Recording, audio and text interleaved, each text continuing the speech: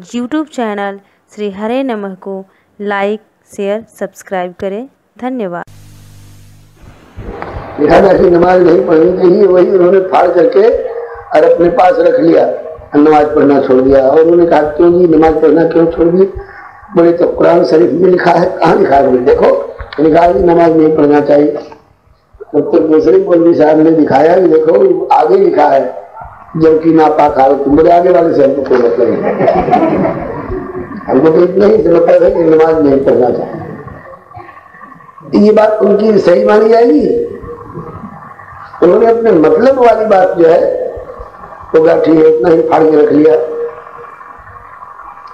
तो वेद व्यास जी ने क्या लिखना चाहा है, किस अभिप्राय से लिखना चाहा है, इस बात को समझे बिना हमने मनमाना अर्थ लगा लिया। और भगवान के खिलाफ हम कुछ सोचने लग गए, कहने लग गए, करने लग गए तो हम दोष के भागी हो जाए। और वेद व्यास जी के वाक्य का तात्पर्य नहीं समझ करके, हम उसका सही सदुपयोग नहीं करके उनका दुरुपयोग करने लग जाएँगे। आज नारद बाबा बता रहे हैं कि आपने धर्म का यश गाया, अर्थ का यश गाया, काम का यश गाया, मोक्ष का यश गाया। पुत्र की महिमा गाई और स्त्री की महिमा गाई और पति की महिमा गाई।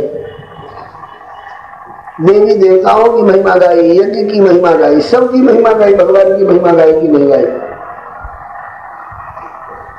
वो तो नहीं गाई, वो कहीं कहीं गाई है कैसे गाई है? जैसे बाराती की गाई जाती। तो कहते हैं कि इसीलिए आपको शांति नहीं मिल रही है। अब इसमें कोई कोई ऐसा न सोच ले कि भागवत के अलावे और ग्रंथों में जो बात लिखी है वो सब बात गलत हो गई। नहीं। अधिकार भेद से एक ही बात हर व्यक्ति के ऊपर लागू नहीं होगी और हर बात एक ही व्यक्ति पर लागू नहीं होगी। अच्छा गृहस्थी में रहना चाहिए कि गृहस्थाश्रम का त्याग करना चाहिए? बताइए इसका क्या उत्तर होगा? गृहस्थी में रहना चाहिए, गृहस्थाश्रम में, या गृहस्थाश्रम का त्याग कर देना चाहिए? दोनों विधान दोनों विधान है।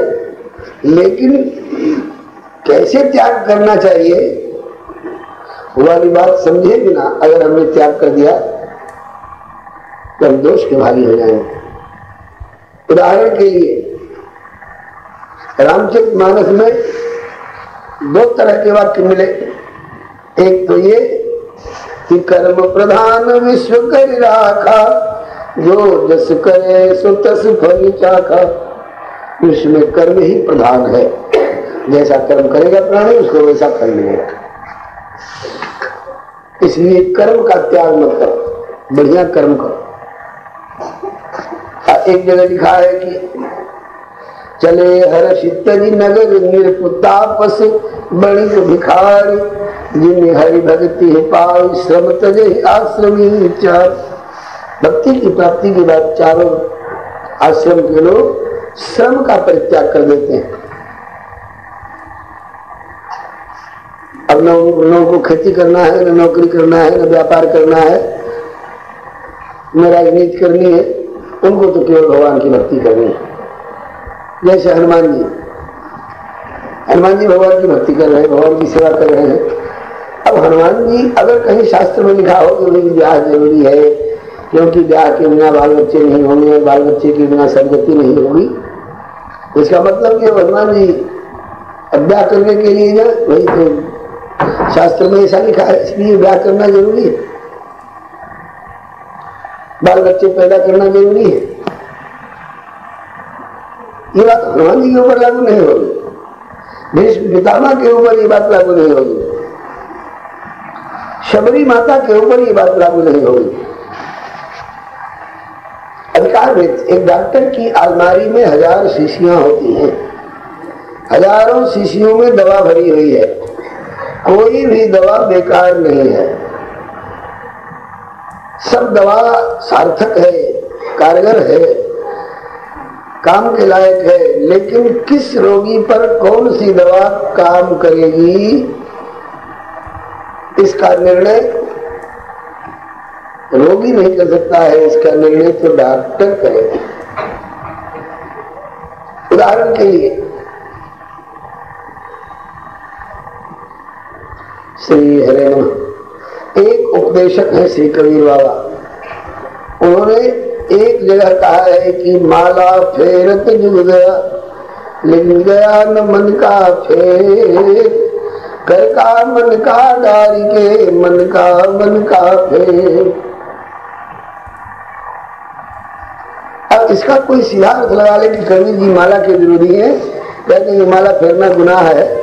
माला फेरने की कोई ज़रूरत नहीं है, ढोंग है, ढकोसला है आडम्बर है, दिखावा है, विश्वास है, इसलिए माला फेंको माला फेंक और उसी कबीर जी का दूसरा दुआ है कि माला मन से लड़ पड़ी। ये क्यों तू फेंके मोह? बिना शस्त्र के सूरमा लड़त न देखा बहुत तो कहते दिखावा में क्या रखा है? पुलिस मिलिट्री का जवान। अगर वर्दी पहन करके हाथ में बंदूक लेकर के शत्रु से टक्कर लेने, सीमा की सुरक्षा करने जा रहा है और उसको अगर कोई सिखाना शुरू कर दे कि वर्दी में तो दिखावा है, बंदूक बंदूक में तो दिखावा है, इसमें क्या रखा है? फिर वो सब उतारो। और वर्दी फेंक दे, और बंदूक फेंक दे तो क्या उस सीमा पर राष्ट्र की सुरक्षा कर सकेगा? दिखावा तो उसमें भी है। नहीं। बात सबके लिए लागू नहीं है। एक जगह कहते हैं कि कबीर सूता क्या करे? क्या सो रहा है? कबीर सूता क्या करे? जागो जपो मुरार, एक दिन सोना होएगा लंबे पाव पसार। अब इसका कोई अर्थ लगा ले कि कबीर बाबा ने उपदेश दिया है कि सोना नहीं चाहिए। तो सोना नहीं चाहिए तो हम चौबीस घंटे और बहत्तर घंटे और तीसरे दिन बारह बारह महीना हम जगह ही रहे। सोएँगे नहीं। एक दिन नहीं सोएँगे दो दिन नहीं सोएँगे तीसरे दिन बीमार पड़ेंगे कहाँ तक शरीर झेल पाएगा? तो शरीर के लिए थोड़ा सोना भी ज़रूरी है। तो एक जगह कबीर जी सोने की निंदा कर रहे हैं। कबीर, सोता क्या करे जागो रखो मुराद? एक दिन सोना होएगा, लंबे पाँव पसार। और वही कबीर जी दूसरी जगह कहते हैं कि, छोड़ दो, उसको मत जगाओ, सोने दो। क्यों? बोले जागन ते सोवन भलो जो कोई जाने सोए, अंतर लौला भी रहे सहज सुमिरन होए तो जिसकी अंदर लौ लगी हुई है भगवान से, वो चाहे सो भी गया हो तो सपने में भी वो ठाकुर जी के साथ खेलता हुआ नज़र आएगा इसलिए उसको सोने। और दूसरा व्यक्ति जो सोया हुआ है, सपना देख रहा है कि बकरा मार रहे हैं। सांप काट रहा है दम घुट रहा है तो कहते कि उसको जगा दो। नहीं तो उसका दम घुट जाएगा। सोए सोए में उसका प्राणांत हो जाएगा, हाथ फेल हो जाएगा।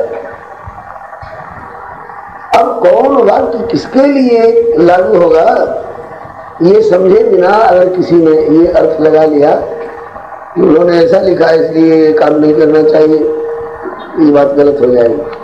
और कहीं कहीं ऐसा लिखा है ये काम ऐसा करो कर, कर सकते हो। अब जो नहीं कर करना चाहता है उसको भी वो काम ज़रूरी हो गया ये कोई ज़रूरी नहीं है। उदाहरण के लिए एक व्यक्ति चेन स्मोकर है। चेन स्मोकर जानते हैं किसको कहते हैं? एगो सिगरेट गैस लाइन से जला लिया और पीने लगा। यूट्यूब चैनल श्री हरे नमः को लाइक, शेयर, सब्सक्राइब करें। धन्यवाद। पीते पीते पीते पीते जब इतना ठुठनी बच गई तो अब वो दूसरी गैस लाइन से दूसरा सिगरेट जलाएगा, दो घंटे के बाद बोले, नहीं। उसी सिगरेट के द्वारा दूसरा सिगरेट और जला करके पीना शुरू किया वही खत्म होने लगा कि तीसरा सिगरेट उसी से तुरंत जला लिया। अब इस प्रकार से बताइए, चौबीस घंटे में कितना सिगरेट पिएगा? सारी घर की संपत्ति सिगरेट में फूक देगा। उसको पहले तो शास्त्र ने कहा कि मत पियो सिगरेट। तो कहता है, बाप न पियो तो हमारे पेट में फूल जाए। वायु हो जाएगी तब कहा जाता है कि हमारा टट्टी ना आए। तो कहते हैं तब एक काम करो।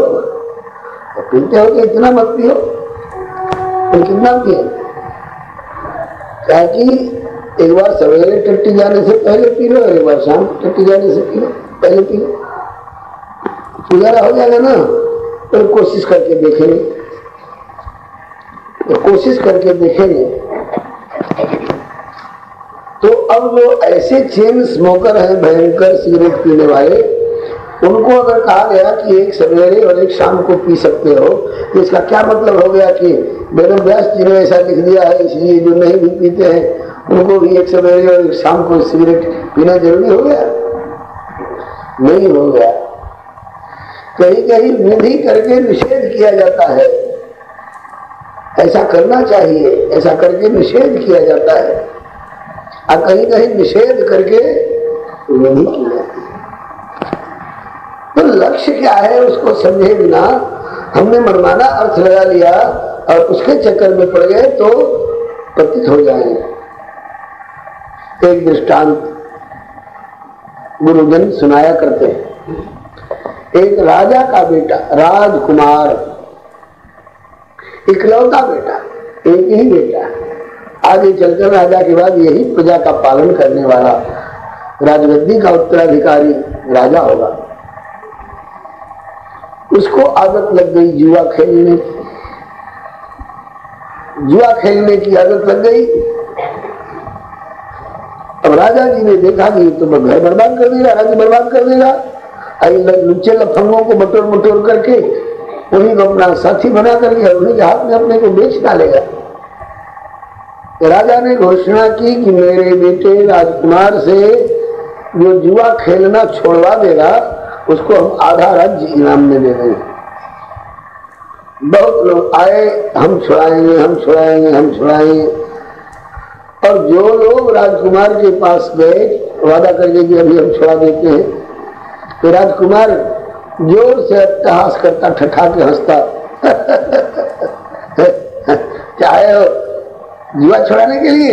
है भाई बाबू जी ने घोषणा कर दी है कि जो जुआ छोड़ा देगा, उसको आधा राज्य दे देंगे। तो जुआ में हमारा एक चौथाई राज्य जा रहा था। और जुआ छोड़ देने पर आधा राज्य चला जाएगा। हम ऐसे बेवकूफ़ है हम ऐसा बढ़िया जुआ छोड़ देंगे, जो आधा तुमको आगे मिल जाए आधा हमारा चला गया नहीं ज़्यादा सबको ऐसे फटकार देता था, किसी को सफलता नहीं मिली। एक संत जी, जिनको आधा राज्य का लोभ नहीं था, उन्होंने कहा कि, राजन, आप अनुमति दें तो मैं कोशिश करूँ इससे जुआ छुड़ाने की। बोले कि हाँ अनुमति कि लेकिन मैं जो जो कहूँ उसको आपको पूरा करना पड़ेगा। बोले हाँ शर्त मंजूर है। कहा कि पर्चा छपवाइए कि जुआ खेलना बहुत अच्छा काम है। जुआ खेलना ज़रूरी है। जीत गया तो एक ही दिन में वो बड़ा भारी सेठ बन जाएगा। एक ही दिन में राजा बन जाएगा। लॉटरी वाली प्रथा आप लोग देखेंगे, ये भी एक प्रकार का जुआ ही। है सट्टेबाजी भी एक प्रकार का जुआ ही। है तो महात्मा जी ने कहा कि ऐसा पर्चा छपवाइए और उसके नीचे ये लिखवाइए, प्रचार करिए कि मेरे राज्य में अखिल विश्व अखिल विश्व जुआ महा सम्मेलन होने जा रहा है। अखिल विश्व जुआ महासम्मेलन होने जा रहा है। सारे विश्व भर के जुआई भाई सादर आमंत्रित हैं। जिनको यहाँ तक आने का घर में किराया भाड़ा न रह गया हो उनको सरकारी तौर पर युवा का टीए भत्ता मिलेगा, यात्रा का पूरा खर्च मिलेगा। एक और सेवक को भी साथ ला सकते हैं, उनको भी फ़र्स्ट क्लास का टिकट मिलेगा। और यहाँ एयर कंडीशन निवास की व्यवस्था रहेगी। उनका भोजन जलपान रात्रि की ब्यारू चाय, दूध सब राज्य की तरफ़ से मिलेगा। यहाँ तक कि दाव पर रखने के लिए घर में अगर पैसा ना हो तो राजकीय कोष से, खजाने से पैसा दिया जाएगा। लेकिन अवश्य खेलिए जुआ इस अवश्य युवा महासम्मेलन में अवश्य शामिल होइए, अवश्य देखिए देखियो राजा जी समझ नहीं पाए कि ऐसा करने से हमारा राजकुमार कैसे जुआ छोड़ देगा। लेकिन संत जी का एक प्रयोग था। राजा ने उनकी बात मान ली, कहा महाराज, जो चाहो छपवाओ और जो चाहो व्यवस्था करो, कराओ। ठीक तो कहा कि युवा का एक स्टेडियम बनवाया गया। बहुत बड़ा हाथा उसमें बहुत बड़ी ऊँची चार दीवारी और उसके भीतर जुआ खेलने वाले भी और जुआ देखने वाले भी। सब बिताए जाए। अब जिसको रास्ते भर का खर्चा भी मिल रहा है, मुफ़्त में खाने, पीने, ओढ़ने, पहनने को मिल रहा है, और दाव पर रखने के लिए रकम भी मिल रही है तो कौन नहीं आएगा? युवा के चस्का वाले सब जुट गए। जब सब जुट गए तब महात्मा जी राजकुमार के पास गए। इन पर भी ठठा के हंसा। बाबा जुआ छुड़ाने आए हो? हमारा आजारा लेने के लोग से नहीं बेटा तो किस लिए आए हो? जुआ खिलाने के लिए आया हो? अच्छा। पिताजी से पूछ के आए हो? बोले कि देखो, पिताजी ने दस्तखत कर दिया। है और इतनी बड़ी व्यवस्था योजना बनाई है मैंने कि तुम और तुम्हारे पिताजी का नाम हो जाएगा सारे विश्व में कि आज तक ऐसा युवा कोई खेलने वाला पैदा ही नहीं हुआ। वाह गुरु जी वाह। पिताजी ने अनुमति दे दी आज अनुमति दे दी। देखो, दस्तखत करके दिया। कैसे अनुमति दे दी? तो युवा का विरोध करते थे। तो महात्मा जी ने कहा कि मैंने पिताजी को समझाया देखो जी जब उसको इतना चस्का लग गया है छुड़ाने की कोशिश क्यों कर रहे हैं? जुआ तो ऐसी बढ़िया चीज़ है गीता जी में भगवान कहते हैं कि द्यूतम छल तामस में छलवानों में जुआ साक्षात मेरा ही स्वरूप लेकिन कोई ढंग से खेले तो अच्छा गीता में ऐसा लिखा है हाँ बेटा। विभूति योग में वर्णन है, द्यूतम छल तामस में छल करने वालों में धोखेबाजों में सबसे बड़ा छल युवा मैं मेरा ही स्वरूप। अरे गुरु जी हमको तो मालूम ही नहीं अरे कहा बेटा और बढ़िया बढ़िया बात बताऊँगा युवा के बारे में। यूट्यूब चैनल श्री हरे नमः को लाइक शेयर सब्सक्राइब करें। धन्यवाद। और क्या होगा? बोले कि अखिल विश्व युवा महा सम्मेलन का आयोजन किया जा रहा है। हाँ सारे विश्व की दिवाली जुटेगी बोले हाँ जी छपदा जी ने अनुमति दे दी है हाँ जी। ये देखो, पर्ची बैनर छपवा के लाया। इतना प्रसन्न हुआ आज हमने आपको अपना गुरु के रूप में स्वीकार कर लिया। ठीक। अब दिवाली जुटने लग गए, दी हुई तारीख के ऊपर। अब किसी को जूता नहीं है, किसी को छता नहीं है, किसी को कुर्ता नहीं है, किसी को पजामा नहीं है। अजवाड़ी एक नंबर के। तो उस स्टेडियम में सबको प्रवेश कराया गया। परिचय प्राप्त करा करा कर। और राजकुमार से कहा कि आइए राजकुमार, खेल प्रारंभ हो। लेकिन खेल प्रारंभ होने से पहले मैं चाहूँगा कि ये पक्के जुआड़ी है, कि कच्चे जुआड़ी है, खाली टीए भत्ता लेने के लिए ये जुआड़ी का स्वाद बना के आए हैं कि कुछ जानते भी हैं, बढ़िया जुआ का दाव पेच इसलिए मैं चाहता हूँ कि सबका परिचय आपस में हो जाए। आपका पदार्पण कहाँ से हुआ है, आपका और परिचय क्या है, और विशेषता क्या है? हाँ हाँ गुरु जी ये तो बात ठीक है। तो सबको एक लाइन से बैठा दिया गया और राजकुमार से कहा गया राजकुमार, आप स्वयं इनसे पूछिए। और ये लोग अपना अपना परिचय देंगे। एक के सामने पहले पहले गया राजकुमार। आपका शुभ परिचय कहाँ से पदार्पण हुआ है? बोले, कि मैं अमृतसर से आया हूँ। मैं कलकत्ता से आया हूँ। मैं मद्रास से आया हूँ। सब बारी बारी बताने लग गए। और मैं उस क्षेत्र का सबसे बड़ा जुआड़ी हूँ। और आपकी हैसियत पहले पहले तो मैं अपने नगर का सबसे बड़ा सेठ गिना जाता था मैं सबसे धनाढ़ सर्राफ था अपने नगर का। हीरे जवाहरातों का व्यापार था मेरा। और अब मोले अब खाने का ठिकाना नहीं है, अब तो टीए भत्ता के भरोसे आ गया हूँ। सब अपना परिचय देते गए। अंत में यही निष्कर्ष निकला, राजकुमार पढ़ता जा रहा है, अध्ययन करता जा रहा है कि जुआ के द्वारा कलकत्ता के व्यापारी हो और चाहे मद्रास के व्यापारी हो, चाहे लुधियाना के व्यापारी हो और चाहे बम्बई के व्यापारी हो ये सब के सब जुआ खेल खेल करके और आज भीख मंगे हो रहे हैं, खाने का ठिकाना नहीं है। सबका यही रिपोर्ट मिला। तो राजकुमार तो पढ़ रहा है, उन आगंतुक जुआड़ियों को, और गुरु जी पढ़ रहे हैं उस राजकुमार के मुख पर क्या क्या भावोदय हो रहा है। अंत में तो सबका परिचय हो गया तो देखा कि राजकुमार का चेहरा तमतमा गया। और कहा कि गुरु जी बोलो, बेटा कहा कि जुआ तो बहुत बुरी चीज़ है। वे कैसे?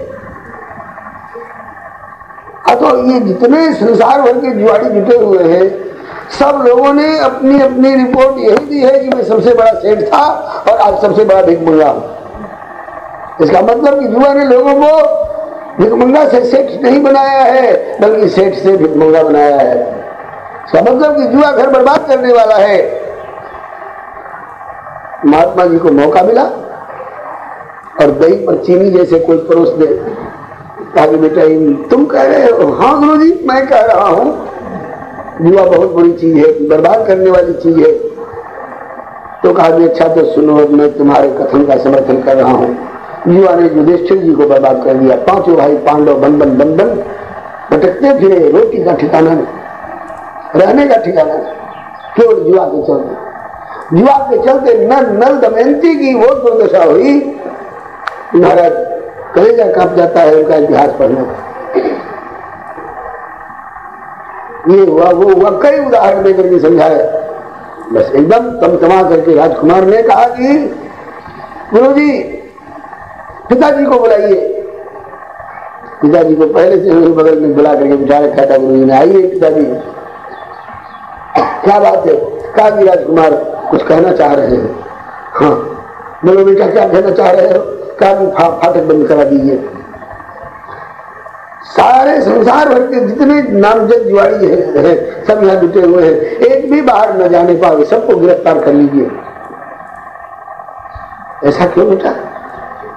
कहा कि इसलिए कि ये सब बर्बाद खुद होकर के आए हैं और अगर ये घूमते फिरे, फिरते रहेंगे और न जाने कितनों को बर्बाद करेंगे जुआ खेला खेला करेंगे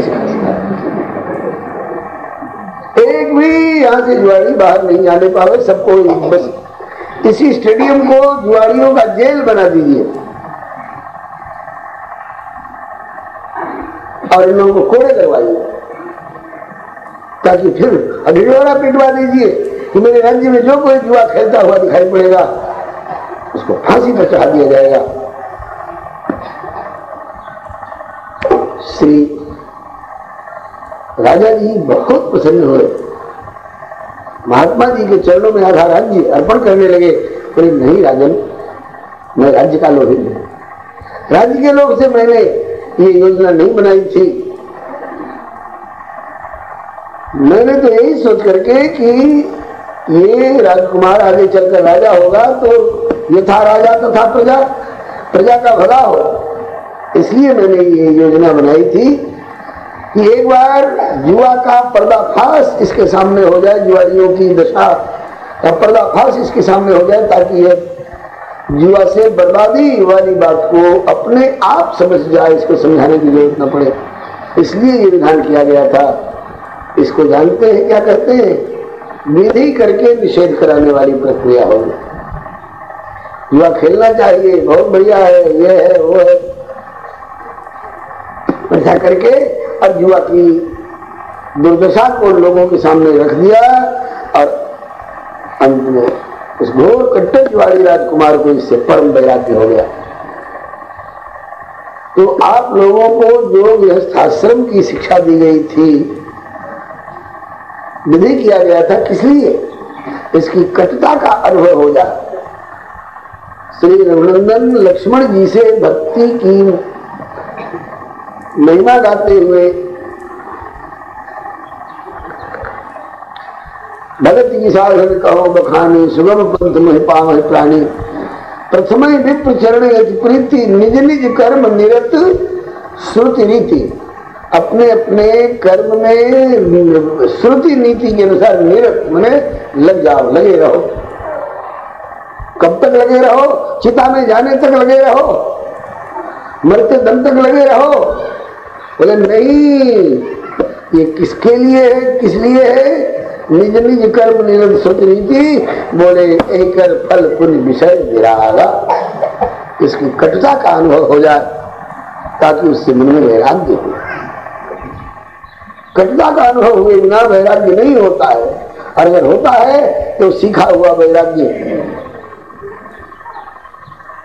एक न एक दिन जाकर के धोखा दे देता है। सहज में वैराग्य हो।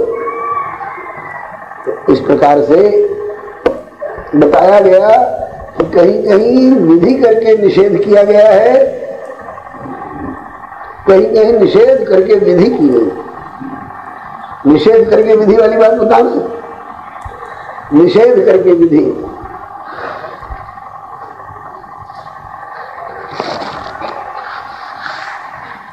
एक गीत गाती है ब्रजवासी। आज ठाड़ोरे बिहारी, यमुना तट पे। आज ठाड़ोरे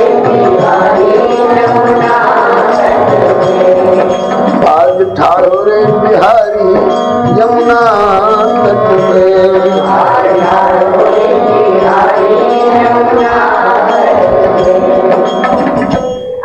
इसका अर्थ बताना पड़ेगा क्या? सीधा अर्थ है भाई। अरे सखियो, आज बिहारी मन कन्हैया यमुना जी के तट पर, घाट पर खड़ा है।